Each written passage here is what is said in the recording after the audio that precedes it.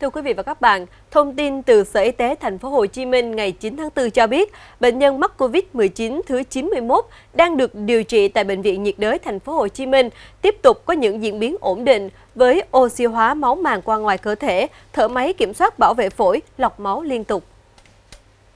Từ khi có kết quả dương tính nhập viện điều trị từ ngày 18 tháng 3, bệnh nhân đã bị sốt cao liên tục, suy hô hấp tăng dần. Kết quả chụp X quang phổi cho thấy phổi bị tổn thương, tiến triển ngày càng xấu hơn. Đến ngày 6 tháng 4, tình trạng bệnh nhân chuyển biến nặng phải thở và hỗ trợ can thiệp điều trị oxy hóa máu qua màng ngoài cơ thể. Đến sáng ngày 9 tháng 4, bệnh nhân đã có diễn biến ổn định, không sốt, mạch và huyết áp ổn định, tiếp tục hỗ trợ chạy thở máy, kiểm soát bảo vệ phổi, lọc máu liên tục. Bệnh nhân đang được các bác y bác sĩ của Bệnh viện nhiệt đới và Bệnh viện trợ rẫy chăm sóc tích cực. Bệnh nhân thứ 91 là nam phi công người Anh của Vietnam Airlines, 43 tuổi, trú tại quận 2 thành phố Hồ Chí Minh là ca mắc Covid-19 đầu tiên ghi nhận tại ổ dịch quán bar Buha quận 2.